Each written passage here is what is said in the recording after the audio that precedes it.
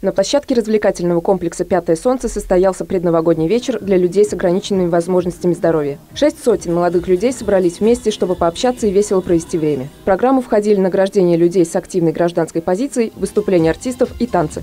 Мы постарались, помимо э, культурно-развлекательной программы, да, организовать и деловые площадки, чтобы ребята получили как можно много больших знаний больше э, информации о возможностях, да, и, конечно, их реализовали. Заместитель министра здравоохранения Андрей Баранов представил гостям концепцию сплоченности общества. Эту комплексную программу создали для улучшения жизни граждан, независимо от их здоровья. Особо эффективно эта концепция работает и для людей с ограниченными возможностями. В концепции сплоченности говорится о том, что все, независимо от того, какие-то есть а, ограничения по здоровью, что, что все люди чувствовали себя комфортнее.